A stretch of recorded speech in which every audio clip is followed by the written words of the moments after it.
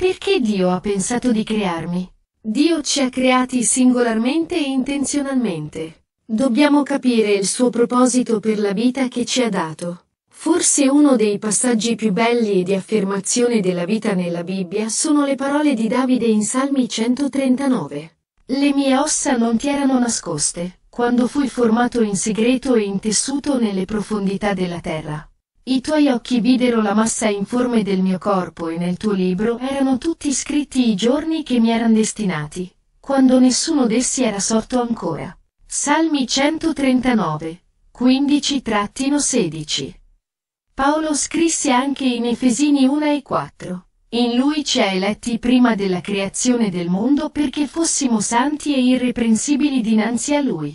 Dio ha creato individualmente e con cura ognuno di noi in modo stupendo. Salmi 139, 14, per cui se lui pensò a noi e creò ognuno di noi intenzionalmente, dobbiamo capire il suo scopo per le vite che ci ha dato. Un corpo mi hai preparato. Gesù era con suo padre quale mastro artigiano quando pose le fondamenta della terra. Lui si rallegrò per tutti coloro che abitavano il mondo, ma il suo diletto era nei figli degli uomini. Proverbi 8, 22-31, per cui quando il momento era giusto, a Gesù fu dato un corpo in terra, come il figlio dell'uomo. In quel corpo, tutta la volontà di Dio sarebbe stata fatta e nulla della volontà del corpo. Mi hai preparato un corpo, per fare, oh Dio, la tua volontà. Ebrei 10, 5-7 Quando aveva completato quel lavoro e inaugurò una via in modo che i figli degli uomini potessero seguirlo su questa via, lui consegnò il suo spirito a suo padre, immacolato dalla sua natura umana e dal peccato, ma con la completa pienezza della natura divina. Lo Spirito Santo fu allora inviato sulla terra, per guidarci nelle orme del Maestro, in modo che noi possiamo giungere alla stessa pienezza. Atti 1, 1-4, 2 Pietro 1, 2-4.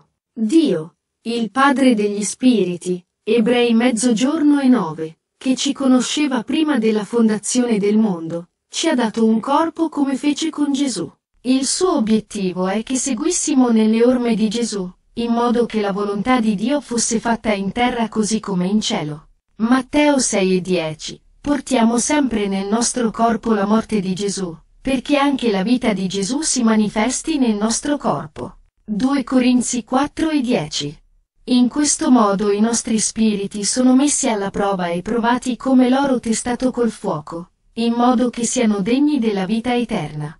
1 Pietro 1, 6-7 un piano perfetto per le nostre vite. Dio ha preparato opere specifiche per ognuno di noi affinché camminassimo in esse. Efesini 2 e 10, Filippesi 2, 12-14.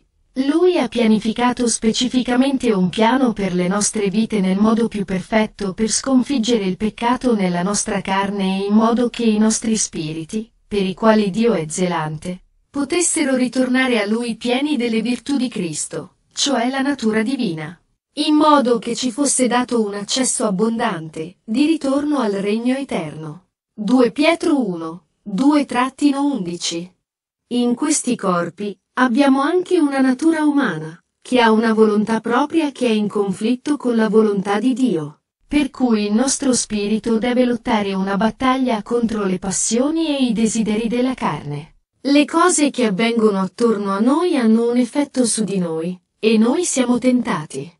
I pensieri che non vengono da Dio e che ci trascinerebbero lontano dalla nostra connessione con Lui cercano di entrare. Giacomo 1, 14-15 Abbiamo bisogno di soffrire nella nostra carne, crocefiggere quella natura umana, e cessare col peccato, esattamente come fece Gesù. Egli non commise peccato e nella sua bocca non si è trovato inganno. 1 Pietro 2, 21-22, 1 Pietro 4, 1-2. Dio vuole condividere la sua propria natura con noi, e la trasformazione da natura umana a natura divina è lo scopo nel nostro tempo relativamente breve in terra.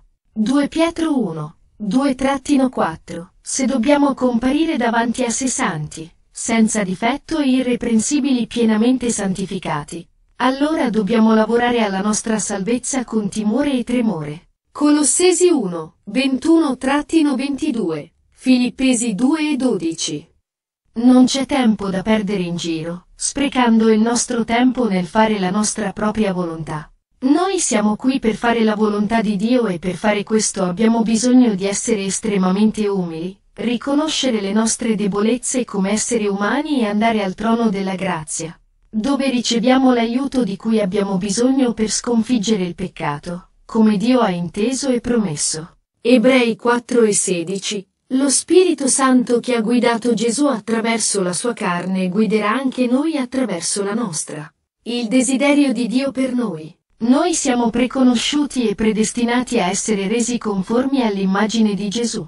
Romani 8, 29-30 Il desiderio di Dio per noi è che conquistiamo la natura divina, che è vita eterna.